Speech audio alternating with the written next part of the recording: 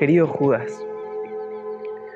si hoy resucitaras y estuvieras aquí, verías que ninguna madre le pone a su hijo tu nombre.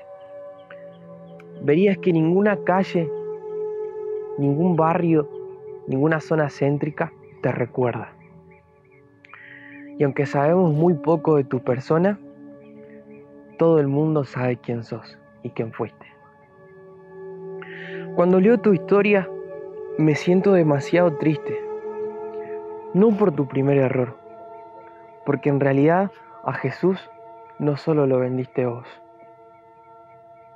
sino por tu segundo error, una muerte sin honor, creyendo que tu pecado era demasiado grande como para merecer perdón.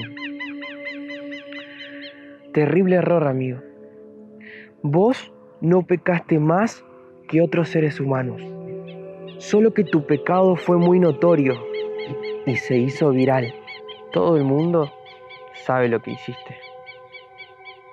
Pero nosotros somos traidores anónimos.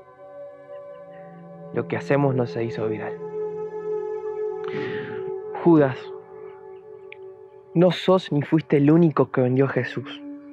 Todos los que niegan el amor en sus vidas han dado la espalda al Hijo de Dios. Hay un error en tu vida que fue el más letal. Te pusiste al margen de la misericordia por elección propia. Nadie ha caído tan bajo como para estar lejos de la posibilidad de recibir el perdón. El perdón de Dios siempre nos puede alcanzar. Sin embargo, el perdón divino se obtiene por elección individual. Pedro, tu compañero de andanzas, de aventuras, tantas cosas compartidas, también vendió a Jesús.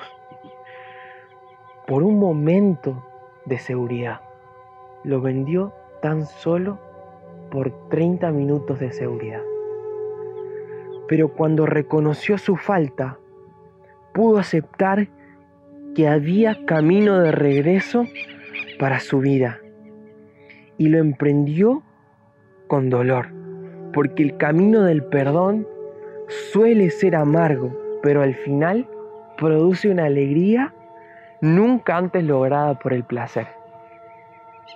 Yo también vendí al maestro y no me produce ningún placer admitirlo todo lo contrario, me produce tristeza.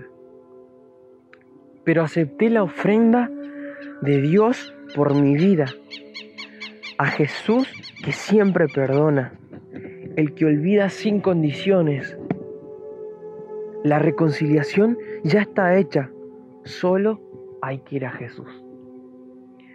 Amigo, no hay ninguna lápida que te recuerde ningún cartel, nada. Todos buscan comparar sus pecados con el tuyo para minimizar sus faltas. Todos buscan hacer esto. Qué autoengaño, qué tremendo engaño. Quedaste en la historia porque vendiste la confianza de alguien que te amaba apasionadamente. Pero, ¿quién no ha vendido a su mejor amigo, a un familiar, a un ser querido? ¿Quién no ha dado la espalda a alguien que necesitaba ayuda? ¿Quién no oró por alguien que había pedido oraciones? Judas es tu nombre y el de toda la raza humana. Tu vergüenza es nuestra vergüenza. Tu angustia nuestro dolor. Cada ser que ha pisado esta tierra ha seguido tu huella en algún sentido. Y tristemente muchos han dado el segundo paso de tu vida. El camino sin retorno, la decisión de no aceptar el perdón. Veo en tus ojos con lágrimas mis ojos llenos de lágrimas. Veo en la mano que alza la cuerda mi propia mano atándola al cuello. Pero acepté el camino de regreso. Y la cuerda se deshace en mis manos y las lágrimas se van. Y le digo a Jesús en voz baja y asustado, Maestro, nuevamente voy de regreso. Querido Judas, lamento no poder verte.